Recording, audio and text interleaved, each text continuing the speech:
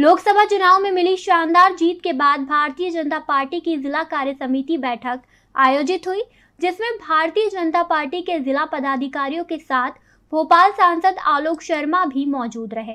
लोकसभा चुनाव में मिली शानदार जीत के बाद भारतीय जनता पार्टी जिला कार्य समिति की बैठक आयोजित की गई, जिसमें भोपाल सांसद आलोक शर्मा भी मौजूद रहे। बैठक में आगामी कार्यक्रमों की रूपरेखा तय की गई और चुनाव की समीक्षा को लेकर चर्चा हुई। भाजपा जिला अध्यक्ष सुमित पचौरी ने कहा कि लोकसभा चुनाव का भोपाल में बहुत अच्छा परिणाम रहा है। भाजपा कार्यकर्ता सतर्क हैं और संगठन के कार्यों में लगे रहते हैं। उन्होंने कहा कि भोपाल में तीन विधानसभा ऐसी हैं जो अल्पसंख्यक बाहुल हैं। इन तीन विधानसभाओं में भारतीय जनता पार्टी को नुकसान होता ही है, लेकिन परिणाम की दृष्टि से देखें तो हमारे प्रत्याशी को एक लाख चालीस हज़ार वोट ज़्यादा मिले हैं।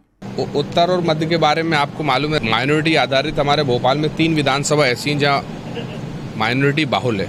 तो निश्चित तौर पर वहाँ भारतीय जनता पार्टी को नुकसान होता ही है, पर परिणाम की दृष्टि से देखें तो हमने इस चुनाव में लगभग एक लाख चालीस हज़ार वोट हमारे प्रत्याशी जी को ज़्यादा मिले। वोट मार्जिन में हमारी बढ़ोतरी हुई है। हर विधानसभा में विधानसभा के मुकाबले जो परिणाम विधानसभा में आया था उससे बढ़कर हमको लोकसभा में मिला है। तो हमारे कार्यकर्ताओं की मेहनत के कारण, संगठन तंत्र के कारण, हमारे सम्मानीय जनप्रतिनिधियों ने जो काम करा उसके कारण और भारतीय जनता पार्टी की सरकार की जो योजना, उसके कारण परिणाम बहुत सुखद रहा।